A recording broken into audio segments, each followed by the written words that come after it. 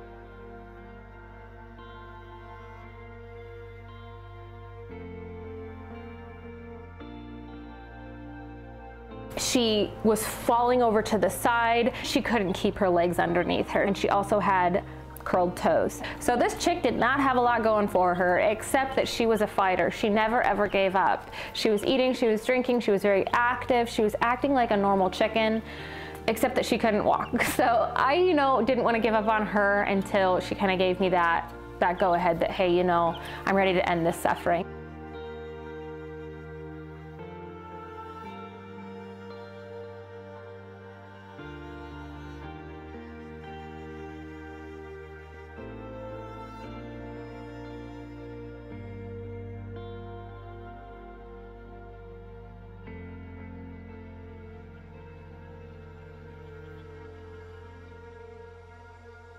We had her on vitamins and minerals, and then we also did a little physical therapy session, which I'm about to show you. The first step I tried was the spraddle leg technique and like kind of repairing those tendons and anything, slipped joints, slipped tendons, dislocated hips, anything that might happen um, that's your first telltale sign.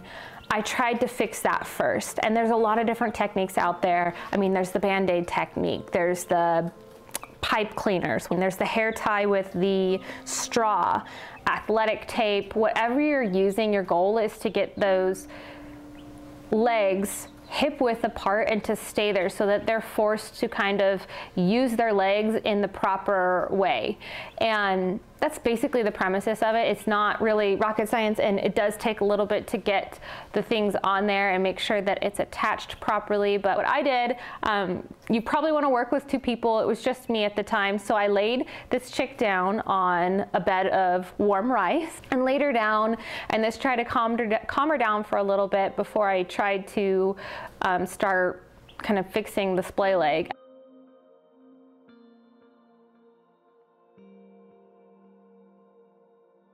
I did leave it on her for two days and she seemed to be just getting worse. She actually couldn't even fully stand up. She was like leaning to one side, toppling over. But I did find some alternative methods to helping a chick that can't walk. And what I did was I actually found an old pickle jar. I, my, my husband, it drives him crazy, but I save everything. And this is a, actually a sheet of felt. I found it in the craft section. Um, it was 10 cents. It's really strong and durable. I liked this because I'm actually going to be using it as like a feeding tray as well. So this chick is actually, by the time I'm filming this, she's able to walk, but I kind of wanted to just give you a demonstration. I'm gonna show you how I did this. So I just basically put the, the sheet of felt inside the pickle jar and I pushed it down and then attached it with some little binder clips. Measured her hip width and then made little holes with scissors in it. Now I did have to take the felt out to be able to get her in there and then put her back into the pickle jar and she stayed like this for 24 hours. I was able to manipulate the fabric in, a, in such a way that I could make a little feeder system so for 24 hours, I kept her in this. Um, she had that food ready for her. She ate willingly.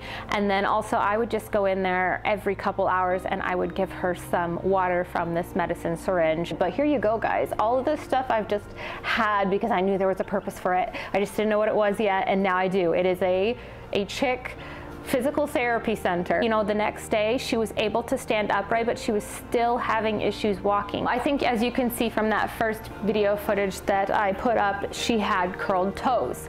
I taped band-aids to her feet. Um, so basically her feet were kind of curled like, like this. And I took the band-aid and I laid one end like this, and then I folded it over. And then that pancaked her little feet in there so that they were forced to lay flat. And then I put her in another jar jar. This one was slightly smaller and she wasn't able to move. She had to force herself to stand up. She had to put pressure on those legs and those feet and I did that for 24 hours. And then after that, you guys, she was walking just fine.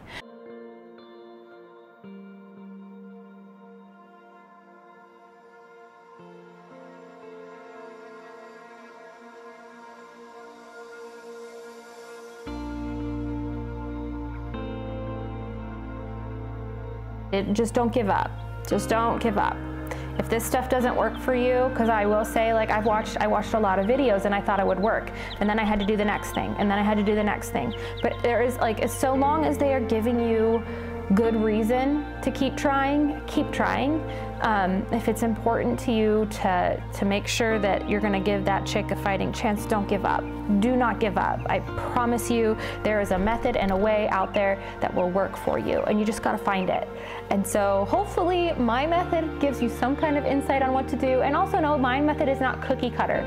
The initial diagram that was I copied this from did not look like that. It was completely different, but I basically got a general gist of how it needed to be, and I figured a way out with what I had in my home, with the exception of, you know, I bought that little piece of felt for like 10 cents at Walmart. And so um, you just, you find a way.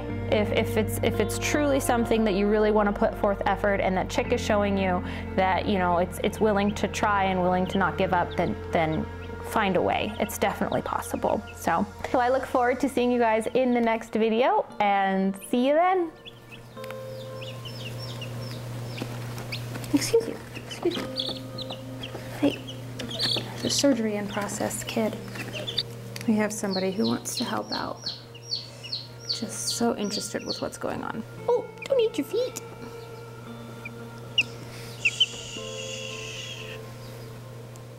Oh, this is